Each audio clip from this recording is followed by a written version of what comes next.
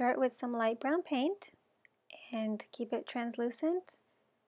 We're going to put the head in and just a rough shape for the body. So arms, a little torso, and legs.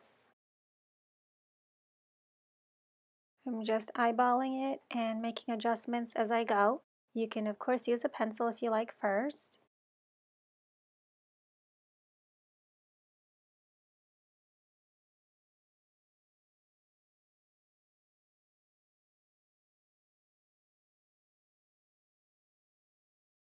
Okay, once that layer has dried, we'll go back in and with some dark brown paint, start putting in the shadow areas. My shadows are going to be on the left, and then I'll just blend out some of those edges.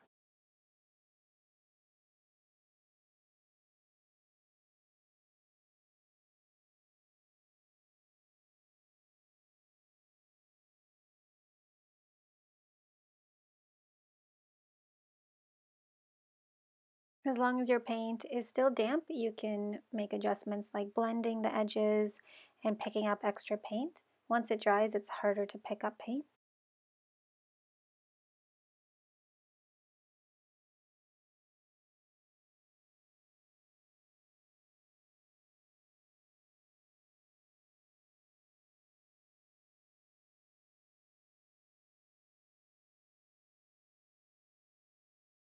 Okay, once our base layer is dried, we're going to go in and add some of the details like the buttons. This is a red paint and I'm making little C shapes and then blending out the middle so they're a little lighter in the center.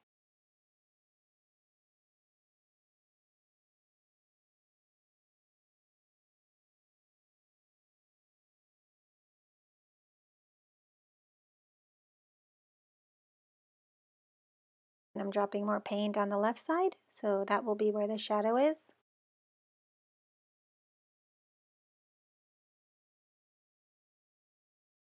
Okay, and then with the white opaque paint, this is acrylic, I'm using that to add the eyes and the smile. This is where the icing would be if this was a real gingerbread cookie. And then making some swirly patterns on the arms and the legs to indicate the icing. Have fun with this step. You can decorate your gingerbread guy any way you like.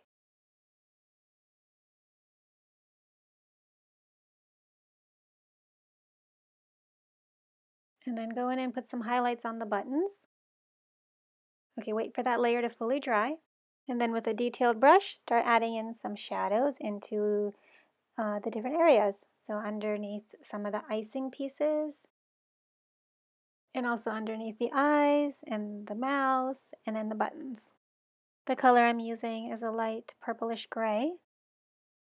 And just be consistent with your shadows. So if your light is on the right, you're going to put the shadows on the left of those pieces.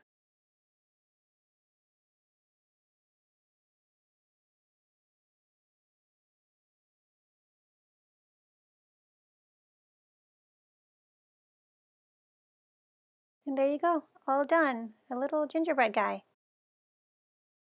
Happy painting! You can find more tutorials and freebies over at paperwand.com.